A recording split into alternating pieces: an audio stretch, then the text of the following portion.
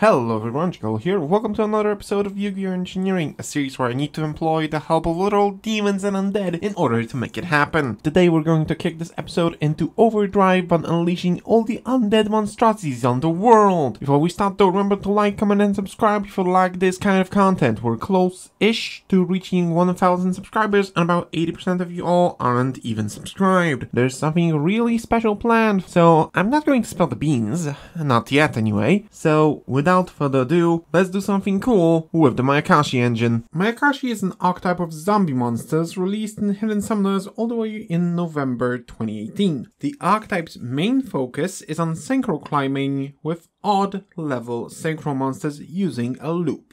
Due to that, the engine was used as a way to trigger soul absorbing Bone Tower, which didn't give the deck any competitive success. Not much can be said about the history of the Mayakashi engine. It wasn't competitively viable, as I mentioned, and even in its premiere set, it was outshined by other archetypes introduced, mostly Prank-Kids, which saw competitive success in the TCG, and Shiranui, which was viable in Duel Links for a while. However, if you want to learn more about Mayakashi, up top you'll find the entire archetype explained. But now let's get to the engine part of the video. When it comes to cards that create the engine, it's very small on the main deck side, but the extra is a kind of a different story. Due to that, I'll mention all the main deck cards and two extra deck ones that I think are important. So let's get on it, starting with the card that gets the engine going. Hajun is a very interesting little fella. All he does is summon another Mayakashi out of the deck, but that's all the engine needs to get going. Easily accessible due to being level 1, he's the most important normal summon, if you decide to use the engine of course. This lovable Kitsune will come back from the graveyard every single time you summon a Mayakashi from the extra deck. This includes when she's used as a material. You can say that she's not going to fall for long, but when you've lived as long as she did, maybe some rest is needed.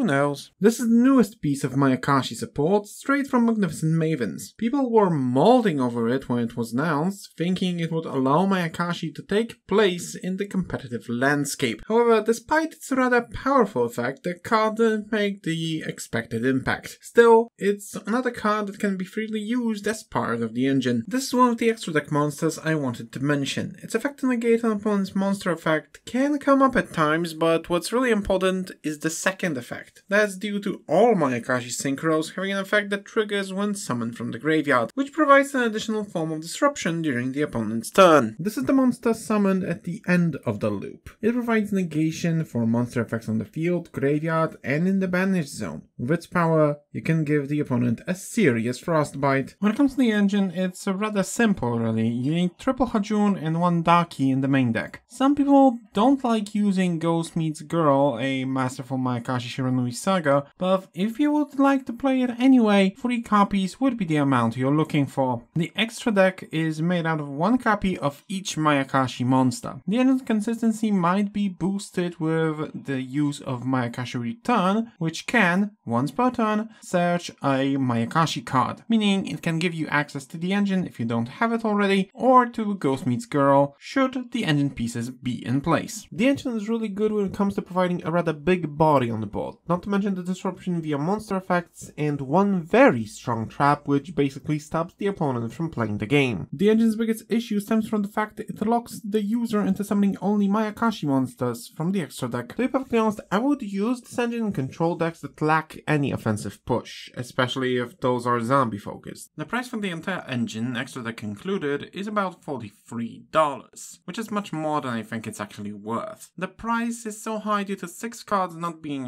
reprinted and 5 of them being secret rares from hidden summoners. With this we're wrapping another episode. Now tell me, will you be able to sleep at night with all those yokai running about? I have no idea where I started rhyming. I guess my scripts need more refining. This rhyming really need to cease. I'll catch you next time. Peace.